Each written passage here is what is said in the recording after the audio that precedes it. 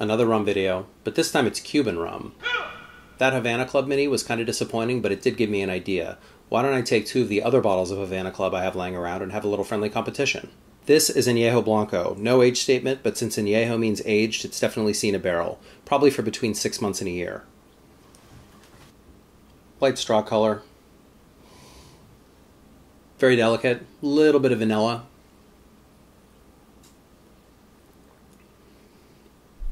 It's nice.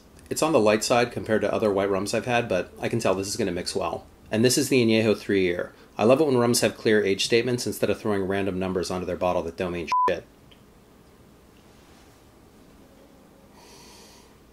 This actually has a lighter nose than the previous one.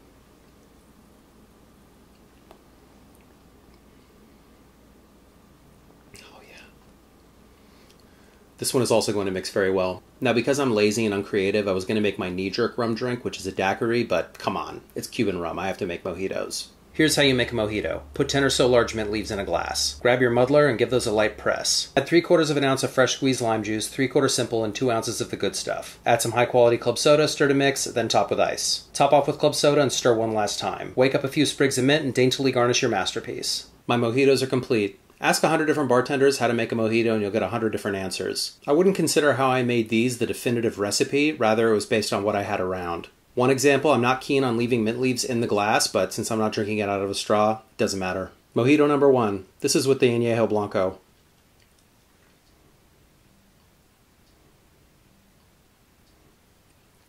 This is summer drinking right here. Mojito number two. This is with the three year.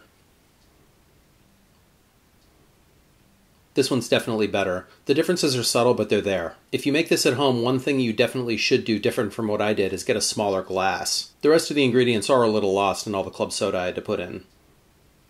But no matter, a great drink for warm weather. If you liked it, hit like, consider subscribing if you haven't already, and if there's something you think I should try, let me know in the comments. Stay safe, follow device professionals, and I'll see you next week.